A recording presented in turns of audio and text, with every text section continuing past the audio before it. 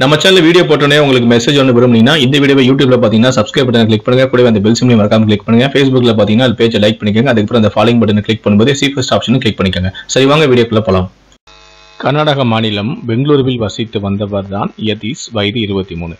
இவர் அதே பகுதியை சேர்ந்த முப்பத்தைந்து வயதான திருமணமான பெண்ணோடு கள்ளக்காதலில் இருந்து வந்துள்ளார். இதனால் அந்த பெண்ணின் கணவர் இல்லாத வேளையில் வீட்டிற்கு வருவதும் உல்லாசமாக இருப்பதுமாக இருந்துள்ளார். இதனை அந்த பெண்ணின் பக்கத்து வீட்டில் வசித்து வந்த ராமச்சந்திரா சேத்தன் மற்றும் தேஜா என மூவரும் பார்த்துள்ளனர். அதன் பின்பு மூவரும் சேர்ந்து யாதீஷிடம் எங்களுக்கு பணம் கொடு இல்லையென்றால் அந்த பெண்ணின் கணவரிடம் இதை சொல்லிவிடுவோம் என மிரட்டியுள்ளனர். இதனால் யதீஷும் தான் தன்னுடைய இருந்த பைக்கை விற்று அவருக்கு பணம் கொடுத்துள்ளார். மீண்டும் மீண்டும் பணம் கேட்டதால் மன உளைச்சலுக்கு ஆளான யதீஷ் கடந்த வெள்ளிக்கிழமை தற்கொலை செய்து கொண்டுள்ளார்.